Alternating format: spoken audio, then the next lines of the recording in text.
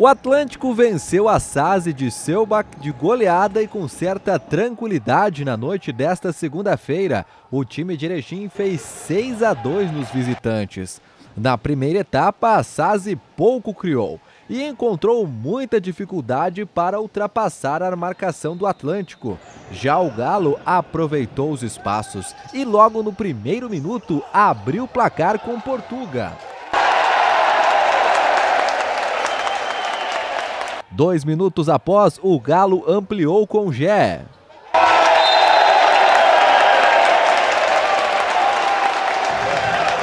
Mas antes do intervalo, deu tempo ainda para mais um gol. O jovem Nardinho, que chegou do horizonte do Ceará na última semana e aproveitou o espaço na cobrança de escanteio para fazer o terceiro do Galo e o seu primeiro com a camisa do time erechinense.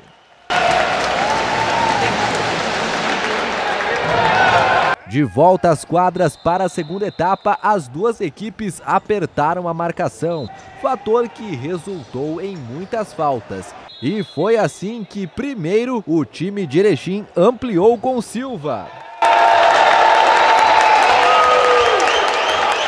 E logo após, a Sazi descontou com Bier.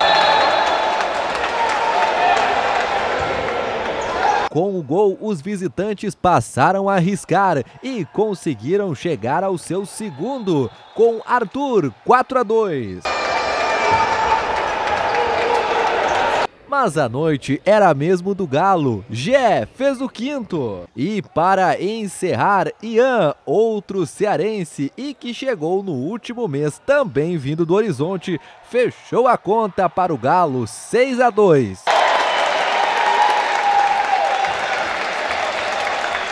No fim do jogo, quem comemorou o resultado foi o Selbach. Não o time, mas o Alan Lucas Selbach, que explicou, apesar de não ter nascido na cidade do time visitante, ficou muito feliz em conhecer e enfrentar a equipe que tem o seu sobrenome. É uma cidade, né, que é o meu sobrenome, né? Eu não nasci lá, mas é meu sobrenome é Selbach. Então tenho um certo carinho, fico feliz de ver jogar na Série Ouro, né? Que é um grande campeonato, talvez um dos maiores estaduais do Brasil. Então, feliz pela vitória, feliz por voltar. Eu estava fora há algum tempo por lesão. Quem comemorou também foi o Ala Portuga, um dos destaques da partida. Tô me dedicando cada vez mais, acho que pegando o jeito da equipe nova, né? Buscar fazer bons jogos aí para ajudar o Atlântico. E o apoio da torcida é sempre importante. Agora o time de Erechim se prepara para uma final antecipada da Liga Nacional. No próximo domingo, às 11 da manhã, enfrenta a ACBF em Carlos Barbosa, em uma partida que pode decidir a liderança da competição.